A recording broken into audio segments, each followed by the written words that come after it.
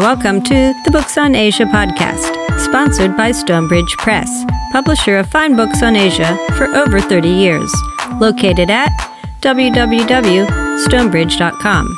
And I'm your host, Amy Chavez. And this week we're talking to writer and translator William Scott Wilson about his book Walking the Kiso Road.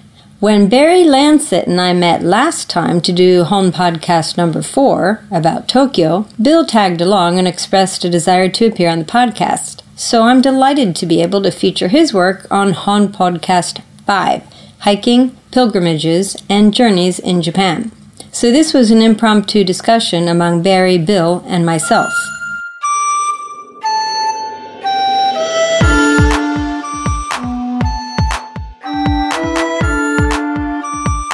So today we have a special guest that Barry has brought with him, and this is someone that many of our listeners will have heard of and have read his books. So, who is it, Barry? Bill Wilson, officially known as William Scott Wilson, if you want to go by his full name. He's author and translator of, of countless books at this point, some of which we worked on together. Yes. I'm so excited because I did not expect to meet Bill today. So this is really nice. I read your uh, Kiso Road. Yes. And um, found that very helpful and interesting. And I love doing uh, pilgrimages and trails myself. So um, I really enjoyed that. Well, I started decades ago um, with a uh, book of samurai philosophy, a man who lived in the uh, early, well, he died around 1715, I believe, and he wrote a book called Hagakure, probably the most radical of all the uh, samurai philosophy books. And uh, I translated that. Uh, Kodansha was uh, kind enough to publish it. And then I sort of kept doing samurai material for a number of years and then kind of branched out to other, other subjects. Bill uh, has, uh, he specializes in classic and tra- mostly translating classic Japanese books and sometimes Chinese books, and he's but he's also written, including the Kiso Road, Walking the Kiso Road, Walking the Kiso Road, and then another original book that he wrote is he wrote uh, a book about Miyamoto Musashi, which is just brilliant. It's a wonderful book. It's a the only English biography around, basically, the, and he's very hard to write about because there's so little information about him. But that's quite an exceptional volume. Yeah, another one of the heroes of Japan. Right, the famous samurai who. Well, he was a uh, he was a swordsman who uh, practiced his practiced his uh, art throughout his life, and uh, I sort of argued with one of the editors that he should not be called a samurai because samurai means to serve, and it means to serve a lord. Musashi never really served any particular lord. He was always very independent toward the end of his life, he was a guest of the Lord of the uh, in Kyushu, the Hosokawa. But um, he was, I guess you would say, he was a bushi. He was a warrior, and more than that, he was just a swordsman and an artist. He not only was a uh, uh, a swordsman, but he was also an art, uh, a sumie, you know, ink, India ink paintings, which he's very famous for, under the name of Niten and there are people who admire his work as a painter and don't know that he was Musashi the swordsman. Oh, really? Uh, he also designed gardens and uh, a number of other things. Um, he's most famous, of course, for his very short book called the uh, the Book of Five Rings, Gorin no Sho, which is used for just about everything from learning how to uh, handle a sword to different sorts of uh, as a way of life, really the first translation of it was touted as the uh, MBA for uh, Tokyo Daigaku. it's not a book about business. No, it is and, absolutely not. Yeah. And uh, you know, it was a great advertising ploy to say that, and all these businessmen went out and read it in order to keep up uh, with the uh, the Japanese. No, I thought it was very amusing though that they sort of took this old classic and decided to use it. The, the lines in it as kind of rallying cries for various yes. business practices, which was a little bizarre to watch from these shores. Yes. Well, I did a number on uh, different uh, uh, warrior philosophies. when uh, Hagakure first came out, people were saying, "Well, this is it. This is the uh, the warrior philosophy," and it's not. It's one of many different opinions as to what Bushido or the way of the warrior is. So I did a couple of books of uh, anthologies of different, um, actually different warlords uh, and their opinions on what Bushido was. That was interesting. I have done one of a uh, a samurai doctor who lived about the same time as the author of Hagakure, who found that the, uh, the warrior clans were sort of weakening, or the warriors themselves were weakening because the, it was a time of peace and they didn't have to really do much. So, towards the end of his life, he put together a book of uh, how to stay healthy. This is a very interesting book. It's called the Yojo Kun. And, the Yojo Kun. Yo, Yojo Kun and uh, it was aimed at the warriors, but it soon became a, a uh, very popular book with everyone from the uh, upper classes down to the uh, to the very lower classes. And I had a, a, Japanese friend who grew up during the war, and he said that book was really their bible as to how to stay healthy really? right after the war and during the war because the food was was uh, so scarce. I also did a translation of the Tao Te Ching, Lao Tzu's famous uh, book, which I really enjoyed. I tried to look up as many of the archaic characters as possible, not the characters you see these days. And uh, I've done a number of different others. The the uh, Walking the Kiso Road is one of my favorites. Is it? Yes, it is. Mm-hmm. I, I can pick it up and read it, and I can be back on the Kiso Road just by reading it. So I've done a number of different uh, uh different kinds of books. So, how did it uh, the idea come around for a book for the Kiso Road? Well, a friend of mine had introduced uh, the post town of Tsumago to me years ago, and I was went that before it was all revitalized? No, it's been revitalized really since the '70s. But uh, I went back with my wife once and by myself a couple times. When I changed my publishing house to, uh, with the loss of Kodansha International, I went to Shambhala and um, they wanted to interview me before they actually signed me up. So I went up to Boston, and uh, the editors and I all sat around, drink, you know, eating sushi and drinking sake and getting a little high. And I was telling them about this fantastic road in Japan. And uh, about six months later, I got a call from my editor, and she said, "Look, we would uh, like you to do a book on the Kiso Road." And I said, "Fine, I'll come up and talk to you about it." She said, "No, no need for that. We've already decided." They gave me uh, an advance, and I put a rucksack on and spent three weeks walking. What could you could be? You could do it. I think my wife and I did it in ten days, probably less than that. But I decided to really stay at each post town and try to get a good feeling for it and, and talk to people. So that's really how it came about. They decided they wanted the book, and I was overjoyed because it gave me a chance to go back and, and to uh, really kind of sink my teeth into it. If you yeah, because Reading the book, it sounds like you had been there at least once before, if not a couple times, in some of the places you stayed. Yes, I've been on the Kiso uh, three, four, five times, um, but I was extremely lucky. I, when I went on this trip just for the book, I couldn't get into the inn that I wanted to get in, and uh, I went to another one that's not so old, only 50 years old, the Tsuchikawa Ya and as it turned out, the man who ran the place was an expert on the Kiso Road, and he had a library full of books in Japanese. And he brought them into my room while I was there, and I wrote down titles, and I was so excited about one that I called up a friend and asked him to bring me a copy of the book in Tsumago in one of the other post towns. Uh, he did, and uh, it was just a marvelous source. It was Walking the Kiso Road, uh, Imamukashi now and days and uh, you know years ago, and uh, it was a marvelous source. So when I finished, I went back to Miami, and uh, I worked six months or a year. I can't really remember because I was so involved in it, but uh, I had a number of sources in Japanese that uh, really helped out. In the end, it wasn't just Bill Wilson who was walking the Kiso Road. It was poets that had walked it hundreds of years ago, samurai who had walked it, spies for the Edo government who had walked it. And at that time, it was walked because that was the only way to get around, right? Well, it wasn't the only one, and uh, no, there were many. There was, yes, there was the Tokaido, but uh, the Tokaido involved crossing a number of rivers and, and bodies of water, and you know people were not great swimmers then. And uh, although the Kiso was cold and and uh, dark, it was a, a really preferred uh, route.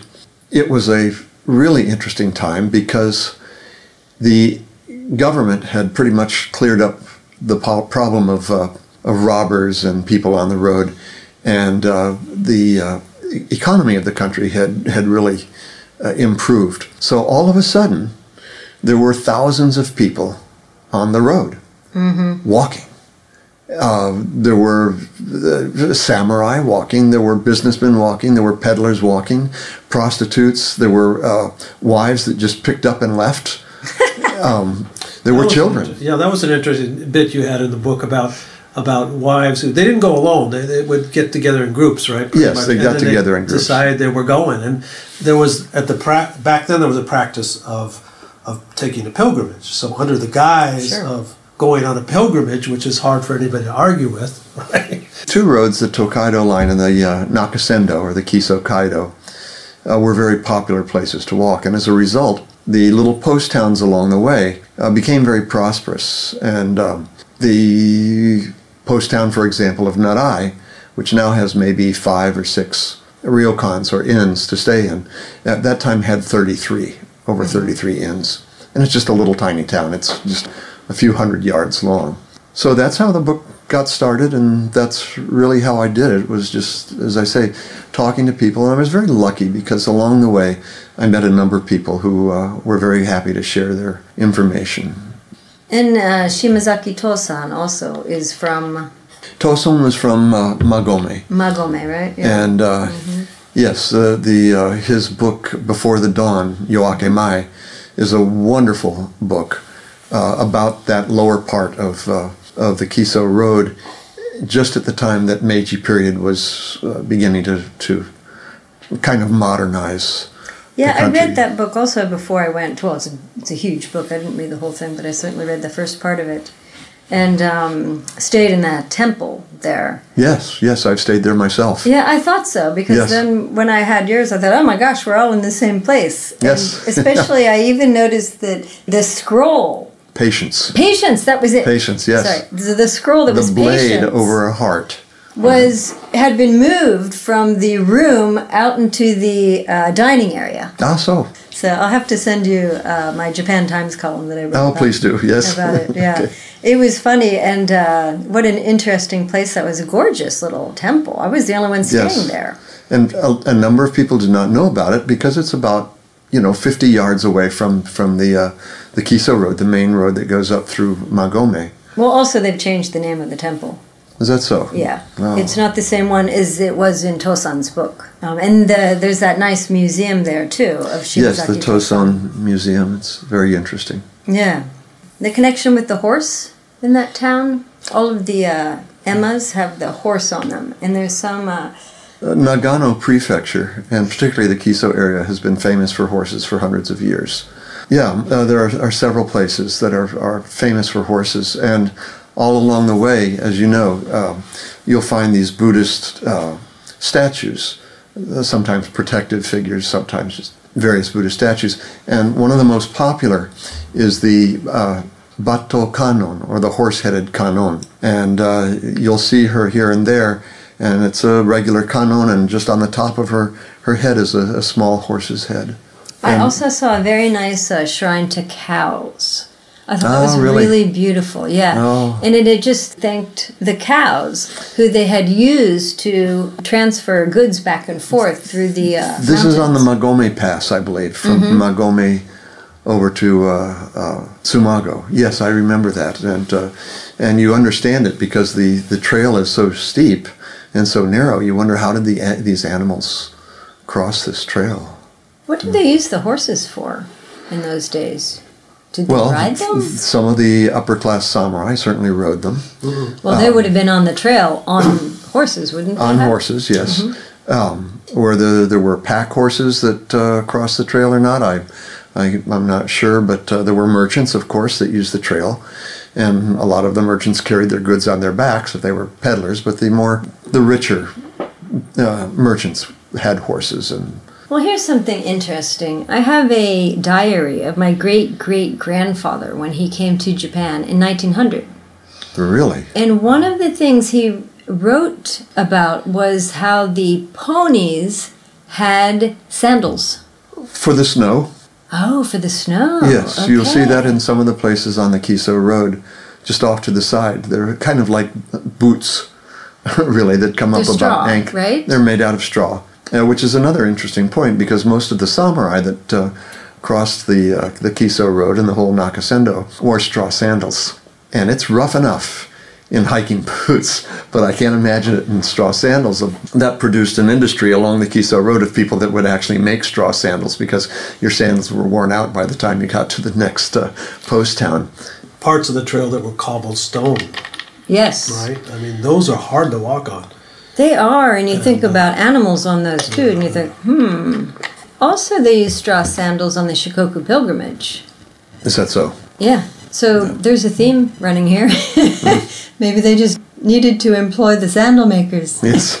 And I mean, it was either straw or wood, and, and straw is much more flexible when you're walking on those kind of rough surfaces, particularly if it's it's the rough hewn stone passages.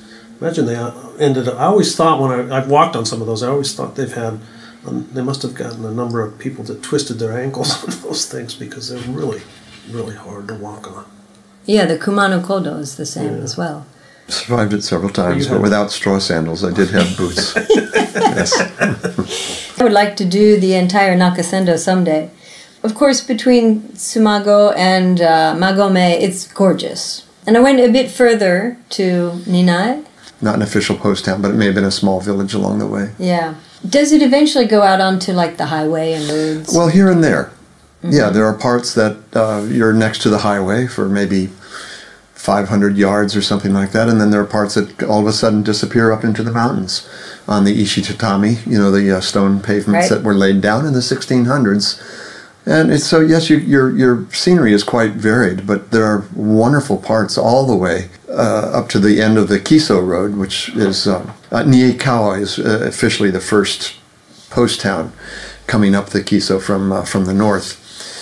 And you walk along a hill that overlooks the highway as you do that, but then it begins to disappear into forests and uh, small little villages and uh, populated areas. But the, there are parts of it that are stunningly beautiful. So when you walk and stay overnight, do you just rock up somewhere when you're ready to uh, stay overnight, Well, or do you just go post town to post town, or You go post town to post town because they're really, uh, uh, some of them are only three and a half miles apart. Um, going over the Tori Toge, the Tori Pass, I think it's no more than three and a half to four miles. But of course, it's it's up over this pass, which is a, a pretty difficult one. Uh, there are others that are maybe seven or eight miles long, but uh, it, it's not terribly difficult on any particular uh, walk between the post towns. and, of that course- would be ten days? You said. well, there's 11 post towns. So it depends on how long you want to stay. You could do it in 10 days if you wished, or you could do it as I did in three weeks the last time I did it, and just stay and really get the atmosphere of, of each town. Because there are always many, many things to see. There are several, for example, in the, the little village of Narai, there are several beautiful temples there. Uh, when you go to Kiso Fukushima, there's the barrier, the old barrier that uh, people had to line up sometimes wait for days to, to pass through. At Niekawa, which is just the, which burned down, I think, in the 50s, and now just a few houses left there. There's a, a very nice museum with uh, Jomon pottery and and uh, that sort of thing. That you know, the ancient peoples that lived here. The Jomon people lived along the Kiso a couple thousand years before uh, the the uh, modern Japanese did. I totally understand like going and spending your time, especially if you're writing, because I've found that you can't really even write about a place until you've already been there once and almost done like the course, mm-hmm. because you you're just not prepared, and there's so many things to find out, and there's so many mistakes to be made Well, the first helps- time around. It helps to have been there a couple of times because then you're wa- aware Get of the of the places. well, you're aware of the places that you can then go back to and see with a little bit more of an eye for detail and that sort of thing. Like the first time I went to Narai, I went to this very nice temple and I walked around. But when I went back to the same temple, uh, I was fortunate enough to meet up with the uh, the wife of the head priest, and so she more or less kind of gave me a nice little lecture about the places. We went from room to room into the garden and uh, round and about. So these are the advantages of of either doing it several times or reading a book like Walking the Kiso Road, so you know you have an idea of where to go. Yeah.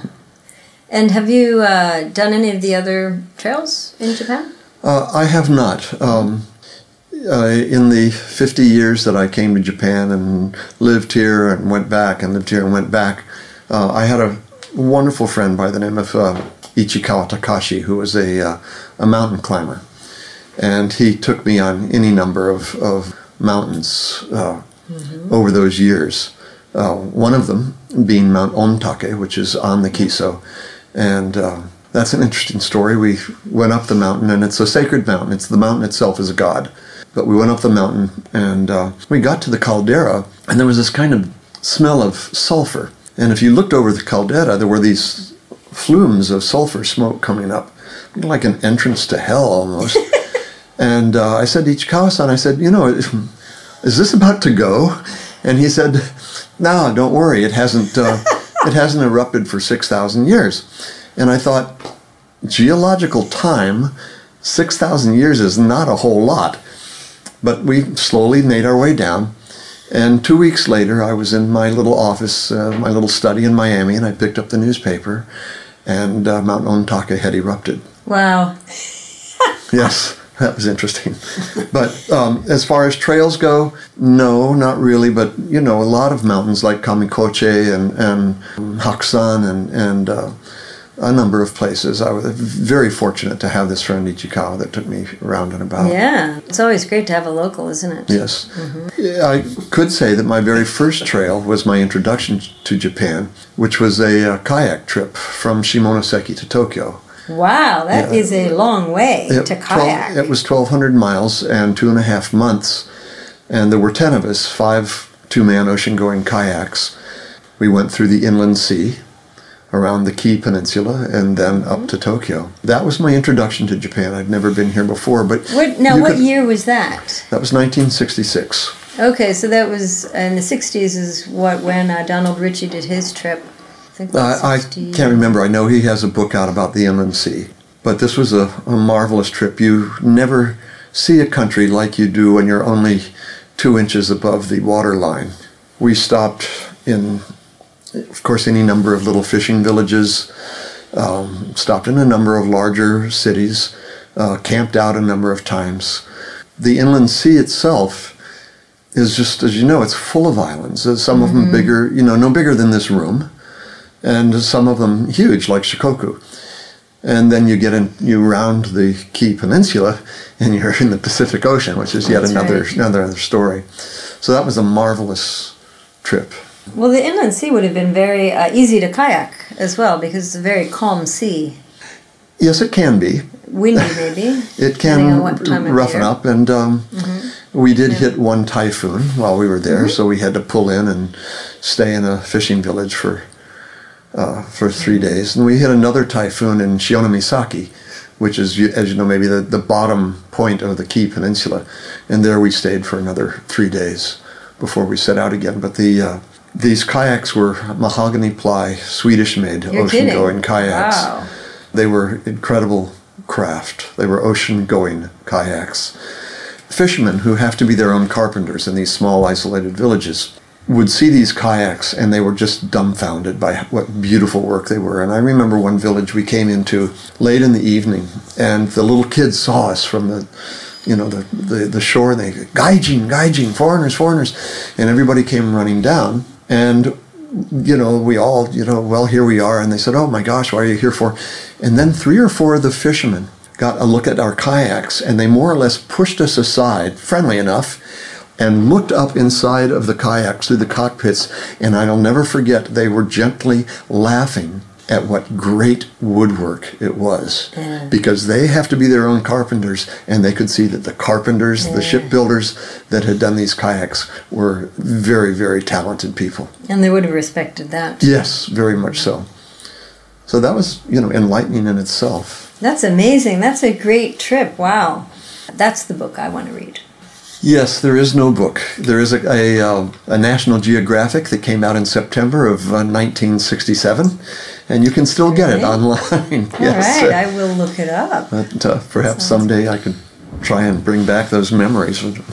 yeah. Write something of it. It's I've sailed up and down the inland sea many, many times. Oh, how nice! How wonderful. Um, and it's still very undiscovered for anyone in a boat. It's surprising. And only the real the real salties come up to Japan from the south, from like the Philippines and Australia, Oh. because of the Kuroshio current. yes.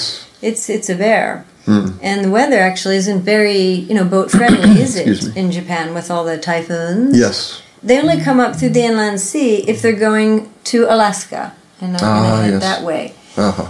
And even then, you have to wait for the right season. There's only like a six week window when you can leave in the springtime from the Mm-hmm. Ah. inland sea and make it before it gets too cold and the winds and you know, rough weather and We did notice that change of temperature, by the way, as we uh, rounded the Kii Peninsula from the uh, inland sea to the Pacific. Uh, we noticed that the mm, the water is getting a little chilly here. This well, is, yeah, and also that's exactly where the current is, the Kuroshio, and uh, that's what gives them all that nice tuna, which they have at the big markets at the Mm-hmm. Yes. Kii Peninsula at the end of the Kumano Yeah, in uh, Kii Katsuura. Um, yeah, so that's. I think that point is uh, can be kind of treacherous as well, from what I hear. well, there's the Naruto Straits, which have the, the big whirlpools, and we did kayak right through them. That's pretty good. you would have done that at high high tide, the highest Um, I tide. can't remember what tide it was, Yeah. but we were we were five kayaks, as I say, and one of the kayaks wasn't able to do that one day. They went ahead to film us or something to that effect. We had a, a motion picture camera guy with us uh, for National Geographic magazine, and as we're going through these Naruto Straits, and there are these whirlpools and these upswellings.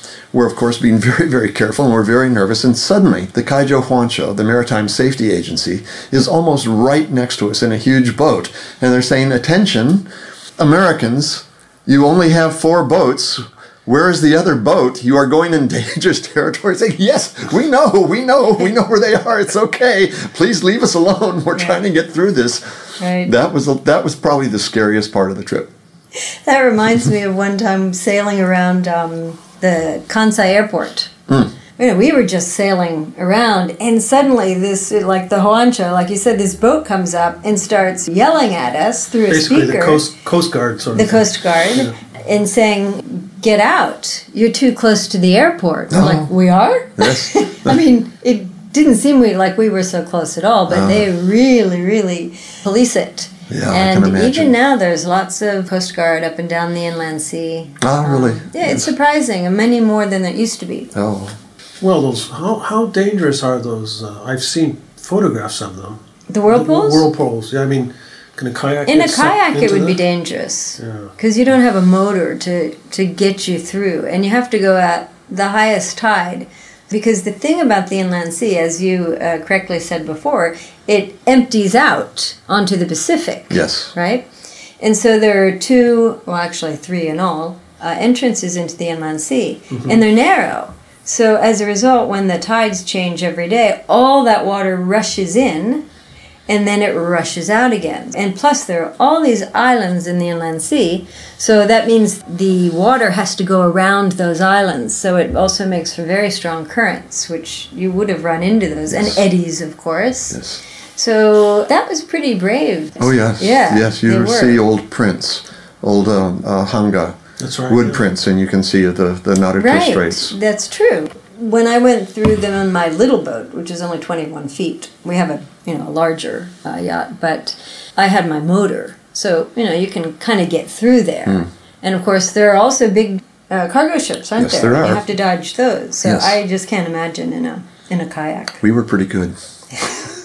you know, our great grandfather before, but he came through on a boat, Mm-hmm. and he said that they took on a captain before they went into the inland sea. Oh, is that because so? if you Yes. don't know the inland sea, you can really get in trouble. Yes. And it's quite true. It's all uh, local knowledge, and the fishermen think nothing of just leaving nets out with no lights on them Hmm. at night.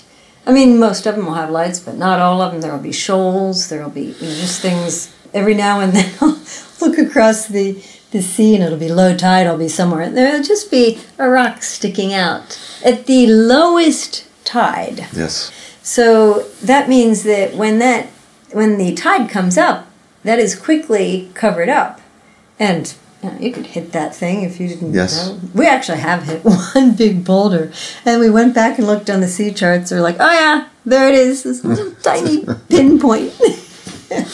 so yeah, you do have to be careful. Please write that book. It's not too late. Yes. Yes, Bill. yes, Do you Bill. have diaries and stuff from the time? Oh heavens, no. Oh, I get, well, yes. God knows where they are at this point. That was some time ago, 1966. Mm-hmm. Um, Oh. I was Yeah, I'll look up the. Uh, 22 and I'm 74 now, so it's that's great. That twenty-two. Jeez. Oh, how old were you when you came to Japan, Barry? I'm trying to think when the first time I came. I think I might have been around 22 as well. Long time after him, but uh, uh, after Bill. But yeah, I think I was around the same age. Yeah, yeah. I came at 22. I came back at 23. I went to Europe, came back, and then uh, came back again five years later, for good. Yeah, and you're still here. And Bill moved back. Uh, I come and go and come and go. I live, yes, I live in Miami, Florida now. 24 types of mosquitoes you have down there. 56. 56. Is that true? Oh, yes. You're kidding. 56 types of mosquitoes? From here, the conversation degenerates into the minutiae of invasive species in Florida, so we've decided to spare you the details. Bill's eyes did light up for a moment, however, when I told him I ran the Shikoku pilgrimage in 1998. Ah, he said, so you're the one who wrote that book. My wife is reading it right now. It's on her nightstand. So I feel we've come full circle here, knowing that we've read each other's books. Thanks for listening to Hon, the Books on Asia podcast. You've been listening to the Books on Asia podcast, produced and edited by Michael Palmer. Logo by Alex Kerr. Sponsored by Stonebridge Press, publisher of fine books on Asia for over 30 years. They can be found at www.stonebridge.com. For more interviews, book reviews, and other features, visit the Books on Asia website at booksonasia.net.